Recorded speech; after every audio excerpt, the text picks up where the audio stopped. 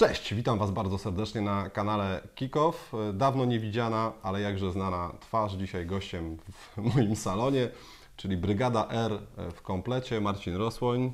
Serwus. Wygląda w tej koszulce troszeczkę jak Rodri. Rodri to raczej może mieć rosół e, spokój, ale ofensywa będzie troszeczkę wymieszana w Manchesterze City, bo pojawił się dość ważny gość, dość ważna postać. Natomiast spotkaliśmy się tutaj po to, żeby porozmawiać sobie o tym, jak oba kluby będą funkcjonować w następnym sezonie, bo chyba obaj nie mamy wątpliwości, i to tak na początek Ciebie chciałem zapytać, chyba, że masz jakieś inne zdanie, e, że i City i Liverpool będą e, cały czas brać udział w tym wyścigu dwóch koni, że raczej nikt do tej dwójki nie dołączy, bo ja takich kandydatów szczerze mówiąc nie widzę. Ale możemy rozpatrywać Tottenham, który rzeczywiście e, robi niezłe transfery, Arsenal, który też tam wzbogaca się o piłkarzy albo portugalskich, albo e, brazylijskich, którzy rzeczywiście mają, zresztą Gabriel Jesus, wiadomo, że już uznana marka na poziomie Premier League. Natomiast e, nie, zdecydowanie tutaj to są takie e, super korekty e, do tego, co, co i zespół Pepa Guardioli i Jurgena Kloppa e, prezentował w minionych e, sezonach, tak taśmowo rywalizując e, ze sobą, tak o jeden punkcik e, tam ze sobą się przepychając, kto jest mocniejszy e, i kto zdobędzie więcej trofeów w danym e, sezonie, kto zdobędzie więcej bramek, e, kto ich mniej e, straci, e, bo tutaj mówimy o fantastycznych ofensywach, ale też i o tych obronach, które e, rzeczywiście stanowią o siłach tych e, zespołów, e, więc nie widzę kandydatów, żeby mogli im zagrozić w całym sezonie, w jednym meczu jak najbardziej. No mówisz nawet o Arsenalu, to tak przyszło mi do głowy, bo wymieniłeś nazwisko Jezusa. Drużyna, która się bije o tytuł mistrza w następnym sezonie, do, nie oddaje piłkarza do zespołu, który miałby się bić o mistrza. Czyli jednak Arsenal, Arsenal i Tottenham myślę, że mają inny cel, to jest Nie, four, prawda? jasne, to jest wielka czwórka Arsenal, żeby być nad Tottenhamem, żeby odzyskać e, ten prestiż północnej części stolicy Anglii, ale zdecydowanie to, co zrobili w, tych, w tym okienku transferowym Jurgen Klopp i Pep Guardiola, e, to są, to są strzały w I dziesiątkę. która ofensywa Ci się... no Zacznijmy może od Liverpoolu, żeby tak to sobie usystematyzować. Bo w Liverpoolu e, ta przemiana jest dość spora. Sadio Mane, no kluczowa postać dla, dla drużyny odchodzi, ale jednak jest jakby nowy transfer, bo Mohamed Salah podpisuje kontrakt. Ta sprawa już stała się sagą, ciągnęła się całymi miesiącami. Szczerze, ja w to nie wierzyłem, że Egipcjanin zostanie. A jednak okazało się, że tak. Niektórzy mówią, że może to miał jakiś związek z Sadio Mane. Nie chce mi się w to szczerze mówiąc wierzyć.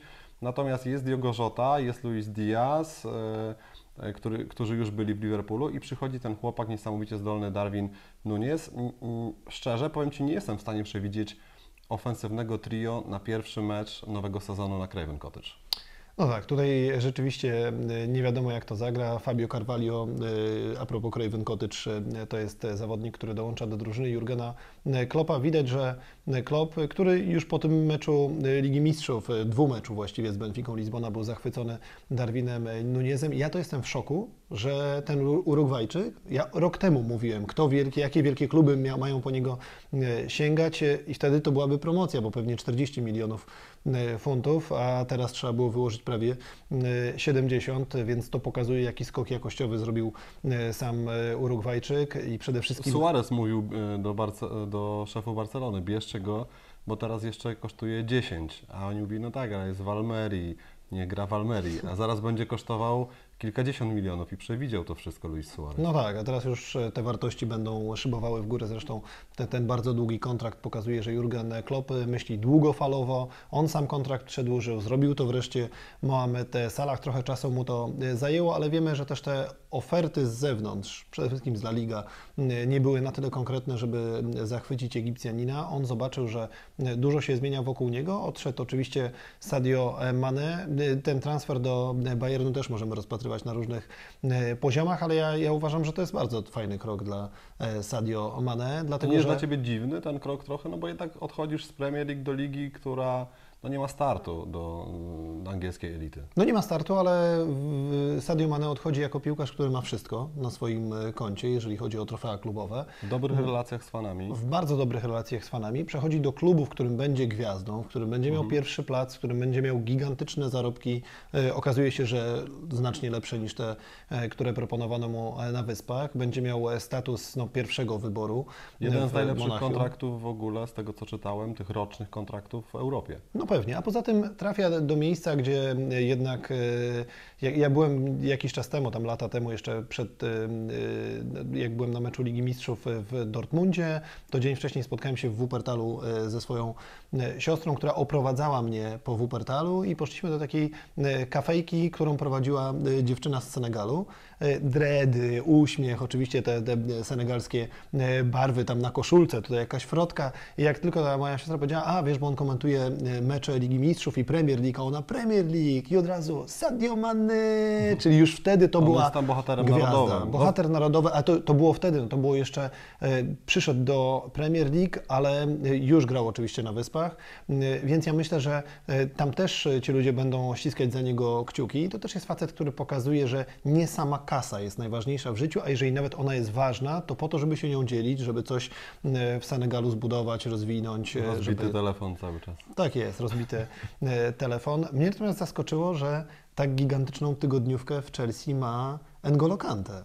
No bo to też facet, który y, pruł hulajnogą y, całe swoje dzieciństwo, żeby być tak szybki, co zdradził Marcinowi Wasilewskiemu. Zasługuje na to, żeby była jasność. Zas- nie, zasługuje, tak, ale, ale myślałem, że jednak tam są inni, którzy go przebijają w tej tygodniówce, a że on tam pewnie zgodził się na jakąś, bo on też jest taki y, skromny, kulturalny No, ostatnio nie wiem, czy, czy miałeś okazję przeczytać, bo to taka dygresja od Liverpoolu i Manchesteru City. N'Golo Kante pasuje tutaj, bo to wielki piłkarz.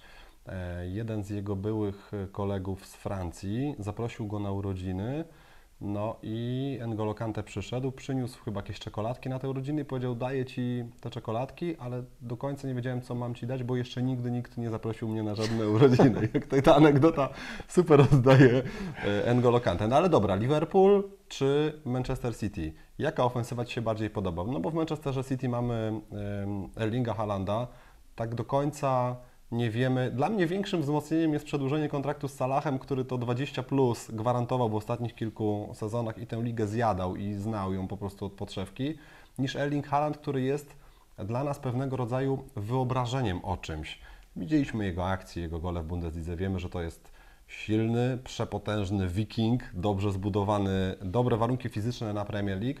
Wiemy, znamy też jego historię z kontuzjami i jeżeli on ich będzie unikał, to myślę, że będzie wielkim zagrożeniem, ale łatwo się mówi, unikaj e, kontuzji w starciach z takimi obrońcami jak Tarkowski albo Minks. No tak, ale przede wszystkim przy tym tempie, no bo my cały czas y, musimy pamiętać, że typ szybkościowca to jest ktoś, kto ma te szybko kurczliwe włókienka wystawione cały czas na, na urazy typu dwugłowy, typu Guero nadwrażenia. tak z, często miał kontuzję, prawda? Dokładnie, czyli facet, który bazuje na przyspieszeniu, y, a, a takim jest y, Haaland. Zresztą widzimy, to, to jest jeden właściwie wielki mięsień. Zresztą te sylwetki są podobne i Halanda i Darwina y, Nuneza, ale mnie bardziej inspirują i mnie się bardziej podobają, choć mam koszulkę Manchesteru City na sobie. Ruchy tak, Liverpoolu. Tak, ruchy Liverpoolu, bo one są takie długofalowe. Wiemy, że Haaland przychodzi z jakimś planem. Ten plan jest z góry narzucony. To są dwa, trzy sezony i on odchodzi dalej. On będzie pewnie piłkarzem królewskich w jakiejś tam perspektywie y, paru lat. Też dopełnia pewną historię, bo to jest ładna atrakcja ze względu na związek emocjonalny, ojciec.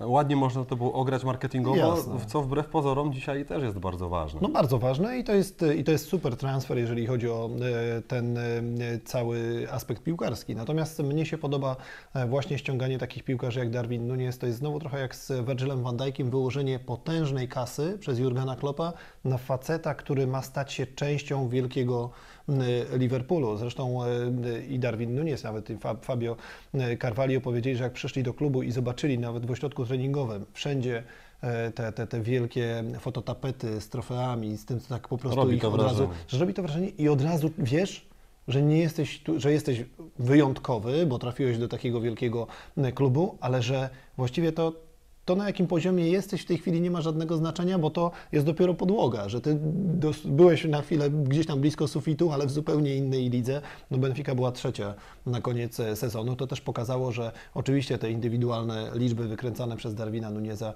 e, w Portugalii to jedno, ale teraz trzeba będzie e, zrobić gigantyczny skok. Zresztą ta ofensywa Liverpoolu bardzo mi się podoba, bo, bo jak popatrzyłem sobie, tak odwinąłem na YouTubie wszystkie gole i asysty z tego poprzedniego sezonu w Fulham Fabio Carvalho, no to gość gra na takim poziomie, to jest jakiś, e, nawet nie umiem go e, w tej chwili trochę Emiliano Buendia, trochę Felipe Coutinho, do niego zresztą jest e, przyrównywany, troszeczkę Luis Diaz, bo taka trochę podobna sylwetka, sposób poruszania. Gość zdobywa te bramki w dużej mierze z pola karnego, czyli atak kombinowany, to co gra Liverpool, błyskawiczne przenoszenie się z akcją w pole karne, ale dużo też dośrodkowań i myślę, że taki Fabio Carvalho oczywiście w tej chwili prawa strona jest zarezerwowana dla e, sa Lacha. Wydaje się, że centralna część przed polem karnym dla Darwina Nuneza. No i, i do obsadzenia pozostaje ta lewa strona. Być może Diogo Jota, może Luis Diaz m, będą konkurować. Zostaje Roberto Firmino. To też ciekawy przypadek. Ale jednak e, uznał Jurgen Klopp, że jeden piłkarz blisko 30, czy tam w okolicach Nie 30. chcę wyciągać tego kamienia węgielnego swoich sukcesów. Na razie, na razie nie. No ten poprzedni sezon był trudny dla Brazylijczyka, no bo to tam chyba było 10 meczów w wyjściowym składzie, w Premier League 10 z ławki. Yy, To nie były oszałamiające liczby, jedne z, ze słabszych w jego karierze. Były też problemy z kontuzjami. No i on też musi podjąć wiążącą decyzję dotyczącą swojej przyszłości. Mhm. Myślę, że on też czeka na sygnał z Barcelony. No na tę chwilę to Barcelona chce wszystkich kupić, ale na razie tych transferów nie ma. Trochę jak Manchester United. Trochę tak. Tutaj Bernardo Silva czeka na sygnał z y, Barce Barcelony. Y, Rafinha czeka na sygnał z Barcelony, dlatego tak nie, chyba nie spieszno mu do tego, żeby Wszyscy zasilić pytają, klub. pytanie Premier. numer jeden, gdzie jest Rafinha? Tak. Wszyscy się pytają o to. Robert Lewandowski jest już prawie pos, jest posłowie i blisko, no nie wiemy jak blisko e, Camp Nou. No i oczywiście tam można mnożyć nazwiska tych wielkich piłkarzy, którzy mieliby trafić. Natomiast nie no, Erling Haaland e, gwarantuje Manchesterowi City na pewno gole, na pewno bardzo duże urozmaicenie, jeżeli chodzi e, o grę. Wepchnięcie jeszcze zespołu, każdego zespołu bliżej własnego pola karnego, jeszcze głębiej, no bo to jest facet, który świetnie radzi sobie na linii właśnie obrony, który ogniskuje na sobie uwagę tych dwóch obrońców. No a co to znaczy? To znaczy, że Kevin De Bruyne między dwoma stoperami a bocznymi obrońcami przeciwnika będzie miał jeszcze więcej miejsca na prostopadłe piłki dla tych, którzy wchodzą z głębi pola albo ze skrzydeł. Czyli to jest takim, y, taka najważniejsza zmiana Twoim zdaniem, bo niedawno pisałeś też dla Nuance Sport taką analizę y, Manchesteru City, no i y, Guardiola to było pytanie, które dostawał najczęściej. Y, No, kiedy będziecie mieli tę y, klasyczną dziewiątkę? Kiedy będziecie mieli gościa, który jest goleadorem, żeby te bramki nie rozkładały się, bo wiemy, że ta dywersyfikacja strzelców w Manchesterze City jest dość spora, akurat zresztą w Liverpoolu też, ale ja myślę, że nie ma się co na to obrażać, bo jak masz w zespole takich piłkarzy na każdej pozycji, którzy potrafią zdobyć bramkę, to to świadczy właśnie o sile Twojego zespołu. Już nie tylko szeroka kadra, tam szeroka czy długa ławka, jak to się mówi, ale też właśnie to, że każdy zawodnik potrafi zrobić coś. Po stałym fragmencie niektórzy, niektórzy po strzałach z dystansu. E, I czy w związku z tym nie będzie takiego troszeczkę oglądania się na tego Erlinga Halanda, że teraz wszystko musi spoczywać na nim, bo Liverpool swój balans zachowa. To trio ofensywne to są nazwiska, to są numery na koszulkach, ale to będzie wciąż trio ofensywne. Nie, ja myślę, że Pep Guardiola e, też szykuje e, pewne wolty, jeżeli chodzi o ten pierwszy skład, że Haaland nie będzie zawsze w wyjściowym e, składzie, że, że ten powrót i właśnie to urozmaicenie grą z nim na szpicy i, i bez niego dalej w tym takim przedziwnym układzie, w którym nie wiadomo kto jest dziewiątką, najczęściej był w poprze- poprzednim sezonie był Phil Foden, który, który nieźle sobie radził. Tam gry, gry, gry tyłem do bramki, takiej klasycznej dla wysokiej, mocnej dziewiątki e, jest niewiele, bo, bo, bo to jest cały czas przemieszczanie się po całej szerokości boiska. E, Najtrudniej odnajdywał się w tym Jack Grealish, ten poprzedni. Zresztą z Grealishem to mają inne problemy na Etihad Stadium, e, bo, bo, bo on cały czas odwala jakieś numery. Latem, latem mocno odpiął wrotki do tego stopnia, że Stan Collymore jakąś taką, no myślę, że absurdalną tezę wysnuł jednak, że kluby Premier League powinny zabronić swoim piłkarzom picia alkoholu. No, no niekoniecznie, natomiast myślę... Żeby oni nie kończyli tak jak on i Gaza. No na tak, przykład. tak, tak. Ja rozumiem skąd była ta pobudka, e, żeby wypowiedzieć takie zdanie.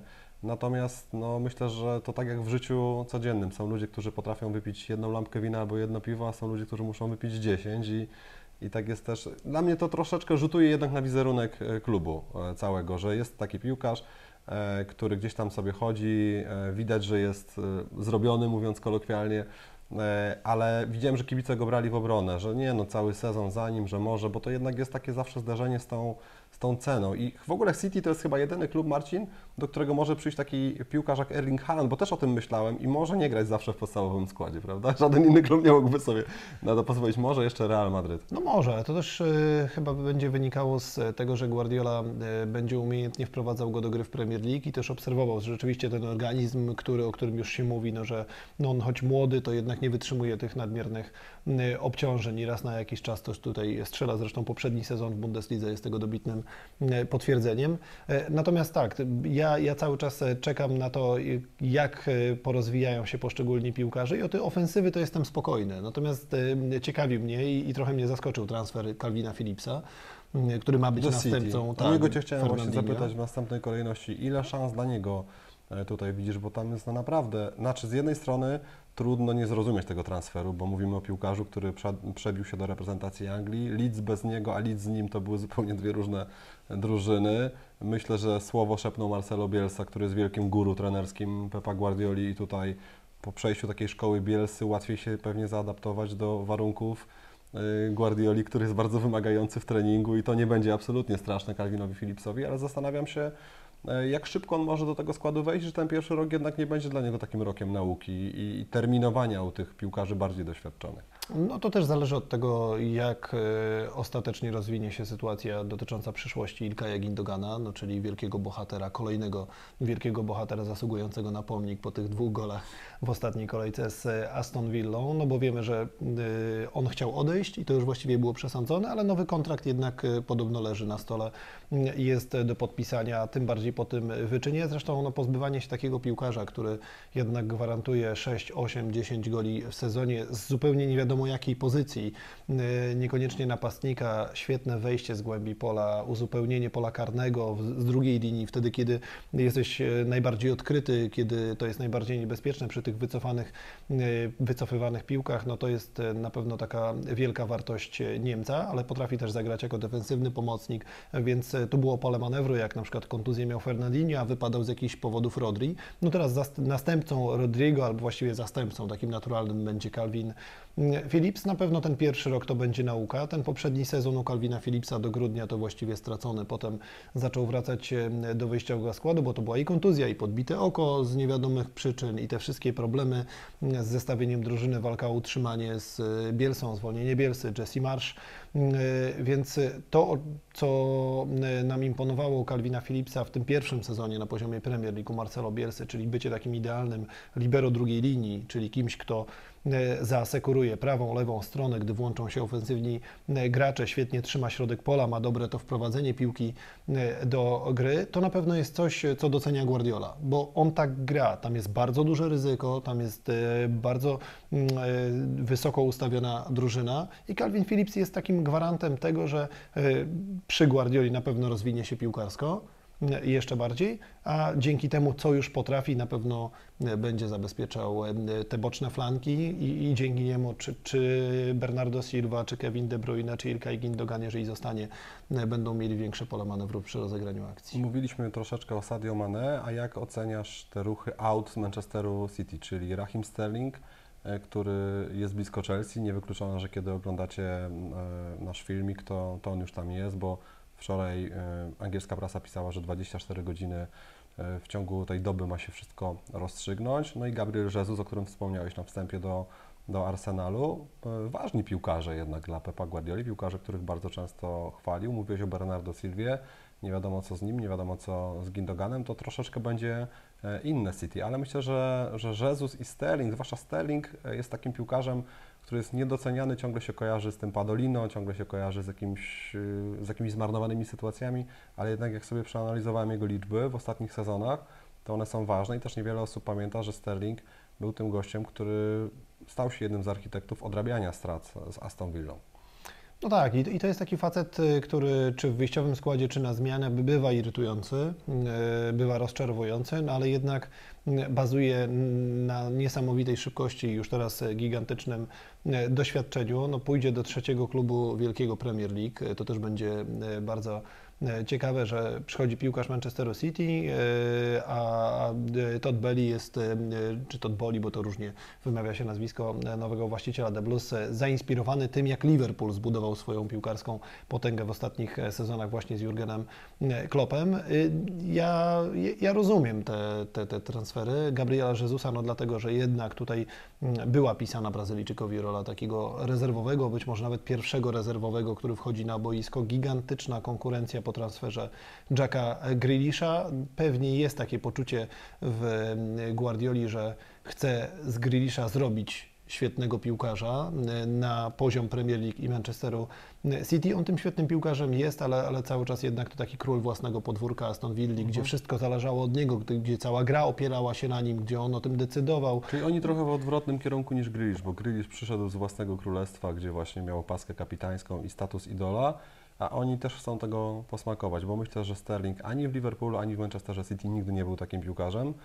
Nie wiem, czy takim się stanie w Chelsea. W Chelsea jest też parę jednak e, gwiazd, e, choćby wspomniany przez Ciebie N'Golo Kante, który może jest skromny, ale dla kibiców zawsze będzie najważniejszy.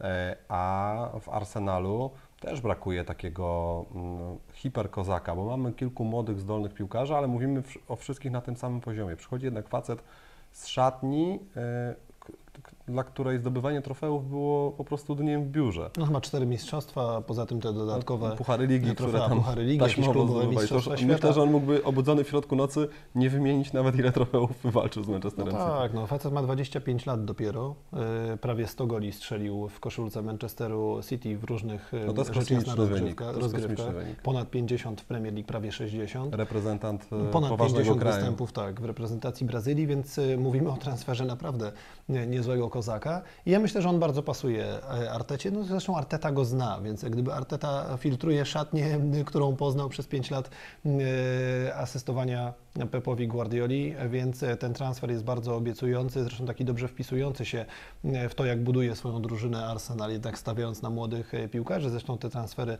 e, poza mm, właśnie z Gabrielem Jezusem, młodych piłkarzy z Brazylii i Portugalii, tam chyba nie wiem, poniżej 20 lat i 22 lata e, pokazują, że, że to jest cały czas utrzymywany kierunek i, i zobaczymy jak to się ułoży, natomiast e, e, bardzo, bardzo elektryzujące są te transfery Jurgena e, Kloppa, to tak na świeżo jeszcze, po- rzeczywiście wracając do tego Fabio Carvalho, jak popatrzyłem sobie jak chłopak rozgrywa piłkę, jaka odwaga przy driblingu, e, to, to, to nie wiem, czy można zaryzykować stwierdzenie, że to jest e, drugi Luis Diaz, czy A lepszy Luis zachwycony nim Diaz, tak, zach- zachwycony, więc on też będzie umiejętnie wprowadzany, trafia w takie środowisko, gdzie ceni się takie umiejętności, gdzie za plecami masz gości, którzy cię zabezpieczają, gdzie cały czas stawiasz na m, ofensywę, więc nic tylko się rozwijać i przełożyć to, co było na poziomie Championship, Fulham, na, na to, to, to jednak chyba takich 100 pięter wyżej.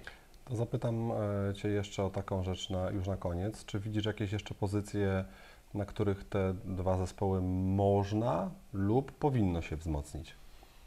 Nie, no takie uzupełnienie to ten Calvin Ramsey, czyli młody chłopak ze Szkocji, reprezentant e, szkockiej młodzieżówki, którego tak troszeczkę śladami Andy'ego Robertsona ściąga e, w tym bardzo młodym wieku z Aberdeen na wyspy, e, no, czy na, do, do, Premier League Jurgen Klopp. No to jest prawy obrońca. Wiemy, że tam Neko Williams, który był wypożyczony, on prawdopodobnie odejdzie do innego klubu Premier League, tam mówi się o Nottingham Forest. Natomiast jeżeli chodzi o właśnie e, samego Ramseya, no to fajna przygoda przed nim. No jest taki przetarty szlak, wprawdzie na drugiej stronie obrony, totalnie zablokowana ta, ta jego prawa przez Trenta Aleksandra Arnolda, ale e, tutaj po uzupełnieniu składu właśnie i transferach e, z klubu e, Sadio Mane, e, Divock Origiego, e, Takumiego Minamino, no to, to jednak te dwa nazwiska, Darwin Nunes i Fabio Carvalho, fantastycznie uzupełniają tę ofensywę. No pamiętajmy, że jeszcze jest czas na transfery Myślę, że bardziej z klubu niż do klubu, ale niczego nie możemy przesądzać. Natomiast Manchester City, no, wydaje się, że z Erlingiem Haalandem, że to będzie potwór, który po prostu będzie połykał wszystkie przeszkody na swojej e, drodze. Mm, Jak Chelsea z Lukaku? Jak to, mm, nie, to ciut, ciut lepiej, ciut chyba to będzie bardziej efektywne, Y, ale, ale zobaczymy, bo y, tutaj jest do połączenia bardzo dużo różnych frontów. Liverpool długo walczył o poczwórną koronę, skończyło się na e, dwóch e, trofeach. Manchester City też miał swoje większe marzenia i one są wciąż do zrealizowania, ale ta e, rywalizacja na poziomie Premier League przy tych transferach, tu Haaland, tu Nunez, e, tu Calvin Phillips, e, tutaj przed Fabio Carvalho trochę inne pozycje, no, ale jednak tutaj uzupełnianie składu, czyli wypełnianie luk po jednak wielkich nazwiskach jak Fernandinho w Manchesterze City przez Calvina e, Phillipsa, no to pokazuje o jakich perspektywach, jak dalekosiężnych marzeniach i celach mówimy w przypadku Kloppa i Guardioli. Długo wyczekiwana brygada R, ale myślę, że skondensowaliśmy y, przez blisko dwa kwadranse y, tę dyskusję na temat Liverpoolu i Manchesteru City. Dajcie znać w komentarzach, czy Waszym zdaniem e, mistrzem Anglii będzie Manchester City czy Liverpool, a może ktoś inny. I może też fajna dyskusja wywiązać się na temat ofensyw obu zespołów. Czy trio, e, nie wiem jeszcze jakie to będzie trio, Jurgena Kloppa ofensywne, czy Erling Haaland jako ten czołg, który wjeżdża e, z drzwiami, z futryną, z buta w Premier League i będzie tam 20+, plus, to jest takie absolutne e, wymaganie. Sami tego nie wiemy, sami jesteśmy ciekawi. Mamy nadzieję, że e, w- w tym składzie się będziemy widywać e, częściej jeszcze przed nowym e, sezonem. A teraz to już wszystko. Marcin Rosłoń, piąteczka Dzięki. taka jak w dziupli. Nie, O, nie, tak, nawet- nie siadło, tak? Lepsza nie. O! To jest Po takiej piątce można zaczynać mecz. Trzymajcie się, cześć. Strzałka.